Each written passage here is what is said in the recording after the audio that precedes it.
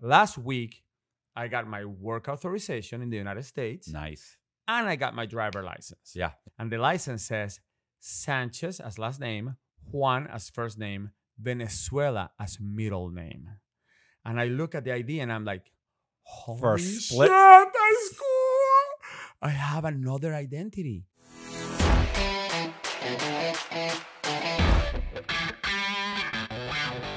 Hey, this is Matt Cox, and uh, I'm with Juan. And so, yeah, uh, we're gonna do a podcast about. Uh, we were talking something sparked something. We decided to talk about dysfunctional families. Well, I think we were talking about Anna, and we were talking Oh. about uh, your sister, and and then we realized that there is seems to be a pattern with criminals coming from uh, some kind of dysfunctional family. Yeah, yeah. Well, I mean, all, all families are dysfunctional, pretty much. I mean, there's very. I don't know many functional families where there is like two two people got married, they had two kids, there are no real problems.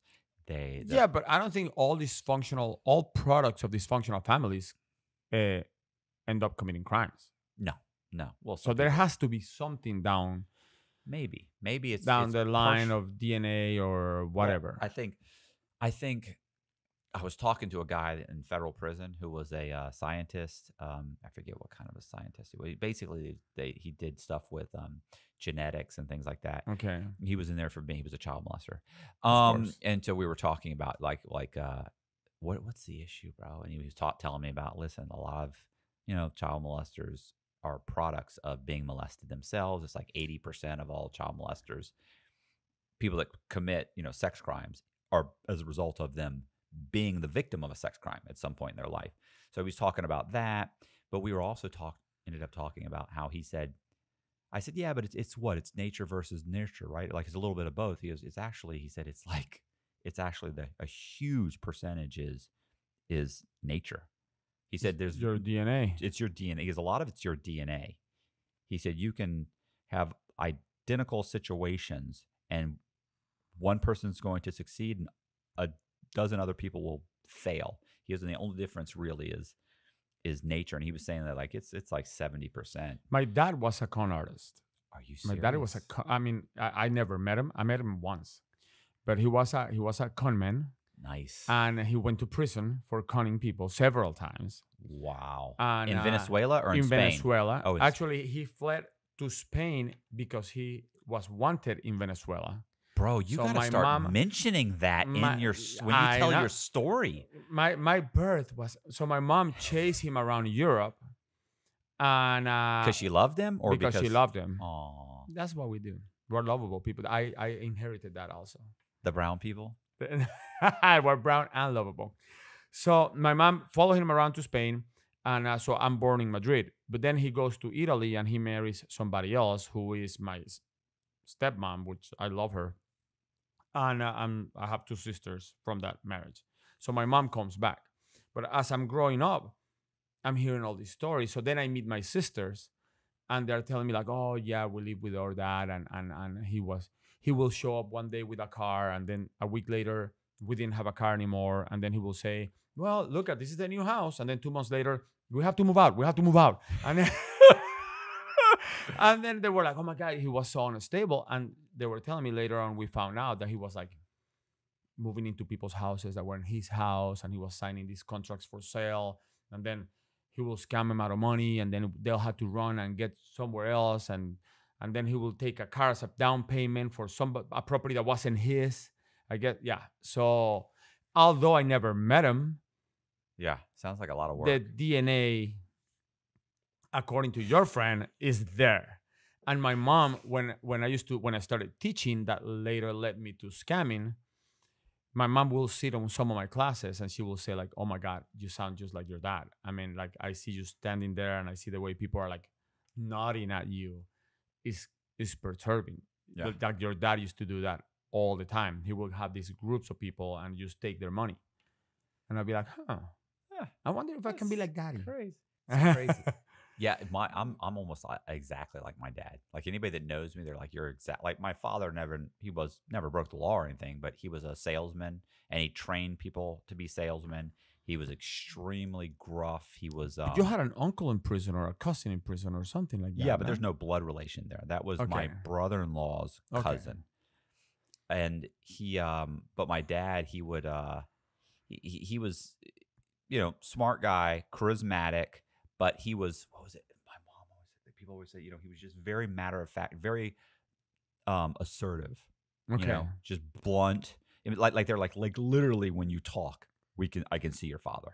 And the thing is, my son, everybody, even though he's had like almost virtually no contact with me, everybody says the same thing. He is just like you. Like he says the same, same mannerisms, says the same things, same uh, arrogance, same you know very opinionated, like all the things that I was when I was his age. I, he, it's identical. But you grew up with some money. I mean, you weren't rich. Yeah, but you grew upper up, middle class. You grew up with upper upper middle class, yeah, not That- rich, yes. but upper middle, definitely. and you went to private school, and you went to college, and you had the whole, you yeah, know, yeah, I had the whole- privilege. yes, Okay. got the pedigree. So, because uh, yeah, you had the pedigree. Because I grew up with no money, No, and uh, in, in Venezuela, yeah, I mean, I thought I grew up in like a super nice neighborhood. Until you actually went to a nice neighborhood. so then, when I was married, and I told my ex-wife, I said, "Listen, I'm gonna show you where I grew up." And let's go to Venezuela. And she's like, Yeah, I would love to see it. I'm like, Yeah, we grew up on these beautiful streets and we used to play outside. And so I take her there. And it's been like 20 years since I've been there. And I'm going there. I'm like, Oh my God, what the fuck is this place? then I look at my old house and I'm like, Oh my God, I grew up in there. It's like a favela. And my wife is like, Get me out of here because these guys don't look friendly at all. And I'm like, But they're like kids of my friends. Yeah. You know, so I grew up in a very shitty area of town. Then I came to the States and I went to school in a very shitty high school. But I have never, like, I have never justified my crimes on that. Like, I never said, like, listen, it's because I grew up poor that now I broke the law. yeah, yeah. So that's what I'm trying to figure out. You didn't, you didn't need money growing But up. No, that's what, that's what always kills me is that like people think like if your family has money, you have money. I don't have any money. Like my parents didn't have didn't. It's not like they're like, oh, okay, well you'll be getting your trust fund allowance for. There's no trust fund. We, My dad, when I was 18, when I was, he was like, you're going to college, or you're going to work. I, I left. I left as soon as I turned 18. I immediately went, got an apartment with a friend of mine. We lived in the apartment. We worked after I did that for a couple of working construction and selling cars. Like I sold cars, I worked construction, and I was like, okay, this this sucks. So then I said I'm going to go to college. I went to college for four years because it was a way to get my father to pay. what was your degree rent. in? Fine arts. Of course. Hi, my name is Juan Sanchez, and you know me from Matthew Cox podcast.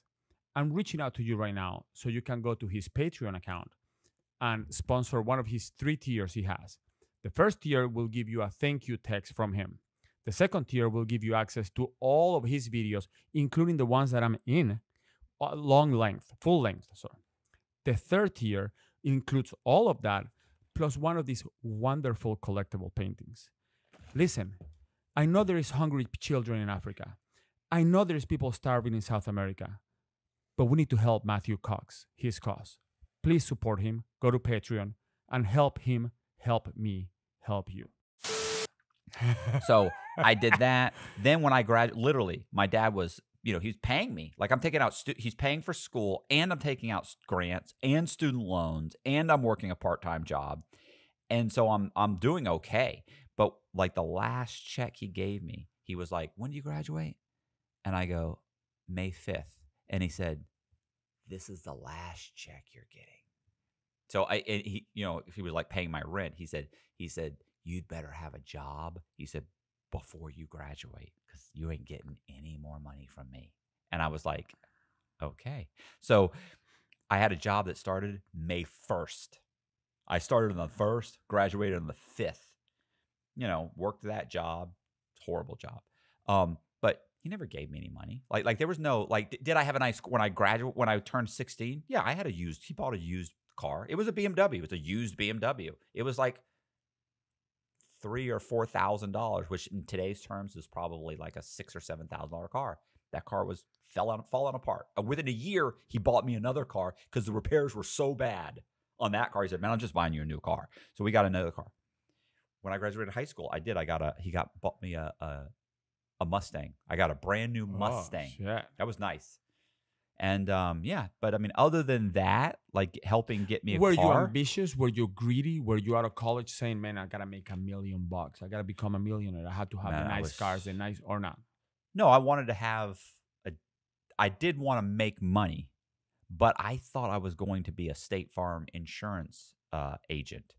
Like I thought I could become a- an agent and sell insurance because my father had sold insurance. Then he became a manager and he was a salesman. And everybody, oh, you're just like him. You're just like him. You're a born salesman. So I thought I could. I was going to do that, but I I I couldn't pass the aptitude tests.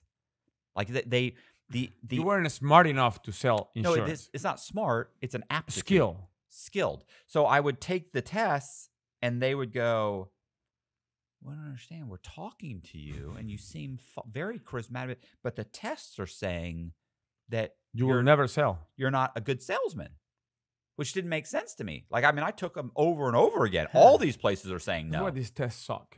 And then I went, I got my degree. My, I ended up getting my 220 license so I could become an insurance adjuster. So I thought I'll be an adjuster until eventually, once you're in the company, you can kind of move up. Yeah. So I was going to be an adjuster. I was an insurance adjuster for two different companies, but one I got laid off. It was so funny too because when I got laid off from this one insurance company, I was there maybe six months, and they had lost a couple big accounts. And so there's like 40 people that work there that, that in my division. And so they start laying, uh, I was the last person hired. The other people had been there years. And they kept laying people off. Like, oh, they let off, they laid off Jennifer and Tim. Oh, okay. And they look at me and I go, okay. And then they lay off three other people a week later. Yeah, they laid off them. He's been here four years. And I'm like, Oh. oh, okay. When they called me in to lay me off, I genuinely looked at the H&R HR person and thought, "You're laying me off?" Like, yeah, these other idiots, but me? Uh, You're making the biggest mistake I'm of your amazing. life. These guys, sure. I get John. John was a retard. Or John, sorry, John was an idiot. But me, I'm amazing. Like, and yeah, the last, like, I should have been the first person fired. So yeah, eventually I, I got laid off. I started working construction. But you never had a criminal mind. You never thought like, man, maybe like when you were doing adjusting, you never thought like, maybe if I can. Oh no, no, I was constantly thinking that. Oh, okay. I was constantly thinking I could do this, and if someone, if I got somebody, all I got to do is get. If you, I had an, a buddy who had an insurance policy, and they sent in the the you know a, a, a claim. Like, how could I fake the claim? And I was I was always thinking that, but I was like, bro, what are you doing? Like, don't. But don't- I, it is my understanding that not everybody thinks that way. I've heard that. I, I was always. I just you wasn't story. doing it. Let me tell this, you guys. If you have, if you just tuned in, you have to listen to this story. So for Oh, your I've viewers, got one too. So I know I your viewers that have been watching me since I've been coming to your channel, last week I got my work authorization in the United States Nice. and I got my driver license. Yeah, yeah. So I go to get my driver license and I gave this girl my immigration papers and she's never seen them before. So she doesn't know how to deal with this thing. So she's doing my driver license and it says on the in the immigration paperwork, it says Sanchez Juan Venezuela, my country of birth Yeah. or my citizenship, should I say. So she gives me her license, my license, and goes, check it, make sure everything is okay. And the license says Sanchez as last name, Juan as first name, Venezuela as middle name. And I look at the ID and I'm like, holy For split- shit, that's cool. I have another identity. Yeah. I can create a synthetic identity with this name, put credit on it, and then I go, sorry, you made a mistake. and the lady's like, really? I'm like, don't Yeah. question it. Please, Please. just change it quickly Please. before Please. please correct it. Please. She's like pulling the ID from my dead grip. Like, "Ugh." And I'm like, my name is Juan Carlos Sanchez. Can you please correct my ID? So then I'm telling the story. But before I tell them the punchline, they're like, oh my God, I can't believe they make those mistakes. And I'm like, no, no, no, no, no. That mistake is really good. Yeah, that could be a good that's mistake. phenomenal. That's a that's a state out given an original fake ID. Yeah. Nice. So it is my understanding that most people don't think like that. Hi, in these times where there is so much hatred in the world, we need to come together and help my friend Matthew Cox. Right now, he's desperate for your help and he has opened a Patreon account in which for $10 you can get him to send you a thank you for your $10. The second tier is $50 and you will have access to all of my videos and some of his videos the whole length. Uh, That's the length of the video, by the way. Tier number three, you will get one of these original paintings, collectibles, one out of tens. They may not be worth a lot, but when Matt dies, they will be worth a lot. And the way he's living, they will be worth a lot pretty soon. So please support his cause and visit his Patreon account. So that's what I wanted to know. If you think that's because of DNA or if it's because of just is that nature, like you just said, is that nature versus nurture? Because I didn't grow up with criminals. I mean, nobody. My Oh, mom I is like no- a I don't know any straight as they come, and my brother is listen. He's care of the of the security guards at the mall. I mean, so I don't know if it's something that is just genetic or or on the brain So- or So when I was uh I was uh 17 16 I was 16 I had a buddy whose name was uh Arthur Levinson. No not Levinson was it? I don't know Arthur. So let's say or let's say Levinson I forget his last name. Uh Arthur uh Levinson. Arthur had had his vehicle was parked on the street and had gotten robbed somebody broke in and stole uh, uh, like a a radio and so I remember that he tr- he went to his alt to try and claim, and he he didn't have he didn't have um uh he he had just basic PIP right, so he didn't Okay, so he yeah, didn't have full cover. coverage. So they they said, yeah, we're not going to cover it. You don't have full coverage. And he was like, dang. So then he went, um, and he said, uh, so then he he went to his he called up his insurance company and said, hey, listen, um, no, no, I'm sorry. That that was it. So he told me, yeah, they turned him down. So that was all I knew. So when I went to dinner that night, I said, yeah, Dad. I said, listen, I said, you know, my friend Arthur, his car got broke into. He tried to cover it. They said this. He didn't have full coverage. So you know, he didn't have, uh, um, you know, property. Uh, Yeah, they, they wouldn't cover it. And he goes, yeah, I know. He said, where was the car parked? I go, at his house. He goes, I, I said he was at at his house, and he went, hmm. He goes, was it parked in the driveway, or was it parked on the street? And I went, it was parked on the street. Why? He goes, I said, why? He goes, because if it was parked in the driveway, he could cover it on his homeowner's insurance, policy, his dad's homeowner's insurance policy. And I went, really? And he goes, yeah. So I go back to him and I said, yeah, my dad said that if it was parked on in on the driveway, you could cover it in your homeowner's insurance policy, your dad's homeowner's insurance policy. And I said, except for you have a probably have a deductible of like five hundred or thousand dollars. And he goes, wow, let me call my dad. And he called his dad and said, Dad, this listen, listen, listen.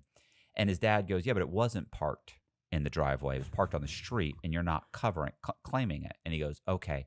So he, he so we looked at the police report, and the police report just said that it was parked that at the residence doesn't say where it was where in the parked. residence.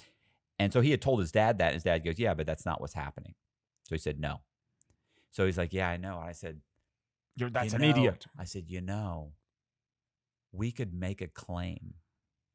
Like you could call and make a claim and your dad wouldn't know. And he went, I said, I mean, think about it. You and your dad have the same name. Oh my God. If they issue the check, it's gonna going to for be you. it's they'll mail it here. You just have to get the check before he does. And he was like, huh. and he went, yeah, but but like the homeowner, like like I'm gonna have to call and and what I uh yeah, you know what? He goes, I don't know. I said, call. So he called up. He calls up and he makes a claim. Hey, my name's so and so. My car was parked in the driveway. Da, da, da, da, da. I have the police report. He faxes it over. They come back and they say, okay, it's covered. They said, we need to talk to your dad. So I call them and I pretend to be his The dad. Huh? You're That- the dad. I'm the now. dad. I threw a little bass in my voice. Yeah, this is oh, my son's car was parked. Yeah, you- my idiot son. You know, he's got one of those aftermarket stereos, and yeah. So no, I understand. Uh, you know, you know, and so he explains the whole thing. So by the way, we had to go through all of his paperwork to find the the uh like the um the homeowners report. Like so, we had the fu- that the number. We had everything. This is before computer. Like they have to go. They've got it in files. Yeah, the file. So anyway, I call, and then they were like, "Yeah, just send in anything that was stolen." And he had put his let his his uh his radio has been stolen. So we went to our buddy who worked at a stereo shop there used to be these things called stereo shops where they would put in stereos and they'd build like they'd build stereos in your car. And I stuff. remember, yeah. Sound advice is what it was. Yeah, called. sound advice. That doesn't exist anymore. I don't think so. It was Yeah. on Busch. Yeah. So we went to him and he wrote us up an estimate for like seven thousand dollars, and then he submits it. We submit it. They took a thousand out. They cut him a check. Depreciation. This is when I learned about depreciation. They cut him a check though for like fifty eight hundred dollars or something. He went and bought a. He went and bought a a Ninja six hundred, the motorcycle. Yeah. So because with that, so he's still got his car And now a bike. and a motorcycle. And no radio. But that's fine. No, no, no. Yeah, he put in uh, just a regular. Yeah.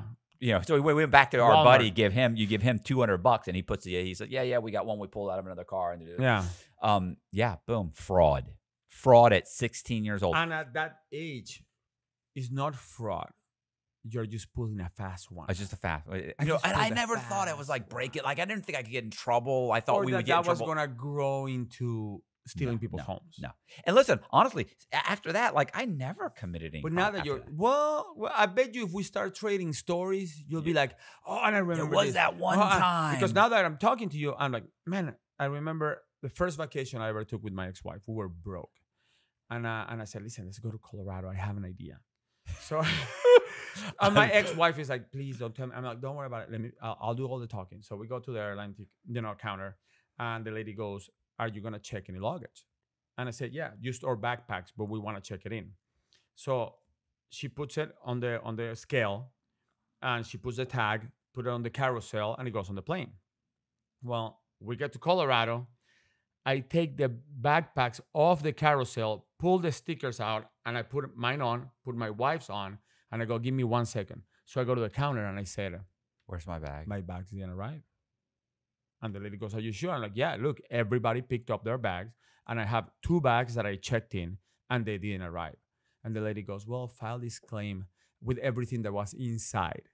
And I'm like, well, of course, I wasn't gonna say like they had a Picasso in it, but I'm like, listen, I had my video camera and I have my ski, my skiing outfit and I have blah blah blah blah blah and blah, blah. and the lady goes, Do you want a voucher to buy all this stuff, or would you like just for us to mail you a check? I'm like, a check will be just fine. so we used a credit card, got home, had a check, paid for the vacation, and I'm like, man, never thought it was fraud. No, no, never No. thought you were getting I'm over. yeah, I'm just getting over on them. I'm, I'm, like, just I figure out a way to oh. travel for free. Yeah, yeah. You know, if it would have been a YouTube channel back then, I would have probably made a video of how to travel for free. So is that normal behavior? This is what I want. Connor This is what I want. Connor, is there is there, have you ever thought about because you're you're you're an innocent child of a product of America? Have you ever thought about you know, maybe I can pull this and get away with it and uh, or or that or or you are so intimidated by the law that you will never do that. or, or or is it just or is it just i just genuinely just don't think about fraud i, I don't think about fraud because i don't want to commit a crime I mean, I have friends that have values that will. Yeah, they- yeah. Like if I tell them that story, they're like, "Dude, why would you do that?" I mean, the people at the airline, you know, they're laying people off because I'm like that. I don't give a fuck. It depends on the situation. Some thoughts, but Well, I think if anybody's watching this that has a story to share, you should drop a comment right now. Look, Connor, I'm using the the, the verbiage. Dropping a comment, right? yes. I got it. You should drop. I'm, I'm learning here. You should drop a comment right now. Tell us your story. Maybe you can say like, "I have a friend of mine who did this." Wink, wink. You know, because we don't want you to get in trouble. Hey, whoa, where you going? Where you going?